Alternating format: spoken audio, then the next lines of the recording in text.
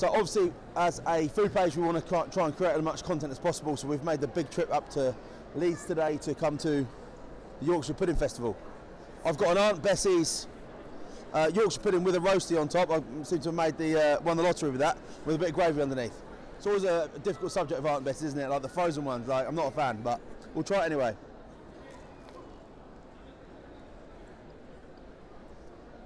Not bad. Sure. Yorkshire puddings for me are in the blood of the nation. We, everyone loves it. Uh, like this one and every single other one I've had today hasn't cut it at all. I like the ones we make ourselves at home. It's a really simple mix. That's half, half the fun of it. One week you'll make them and they'll come out all crazy and big. Next week they'll be a bit flat and stodgy like a cake. It's like the fun of it, isn't it? Yeah. Getting them like frozen ones like this. It's not for me. We've got some food stalls. Some of them have sold out already. Uh, we've got traders that are selling like Yorkshire-based products. Every food store has had massive queues. I think the biggest queue would be uh, the Yorkshire Pudding Pie Company.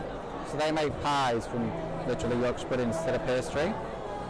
When I thought of the idea about a year and a half ago, I mean planning's only been going on for the last four months. It's been a lot of work in four months to get to this point, but we didn't expect it to blow up. We thought about two, 3,000 people might turn up, but when I shut the tickets off last night, there was 12,000 sold.